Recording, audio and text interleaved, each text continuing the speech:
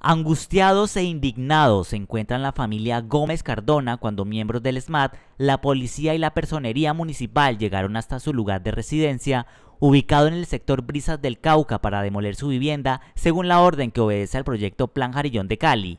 Duvernay Gómez Escudero, de 72 años de edad, propietario de la vivienda, manifiesta con dolor y tristeza que fue obligado a abandonar todo lo que había construido durante 14 años Además aseguró que fue amenazado por parte de distintos funcionarios públicos que se encontraban en el lugar.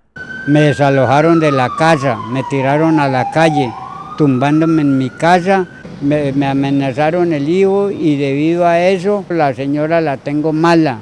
Le iba a dar infarto. Y ellos tranquilamente se habían ido y, me habían dejado con la muerte en la casa ni en, la casa porque nos tiraron todo a la, a la, calle. De acuerdo con Juan Diego Sá, gerente del Plan Jarillón de Cali, informó que se está adelantando un trabajo de concertación donde se garantiza el derecho de la vivienda a las familias que se encuentran en el sector de Brisa del Cauca. Hay oferta institucional suficiente.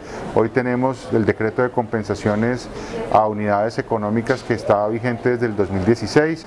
hoy el municipio tiene unas herramientas con las que las familias deben aprovechar para facilitar este proceso de reasentamiento. Mientras tanto, Juan Carlos Gómez Cardona, hijo de la familia afectada, aseguró que son completamente falsas las declaraciones entregadas por el gerente del Plan Jarillón, ya que no han brindado de manera efectiva las garantías de reasentamiento.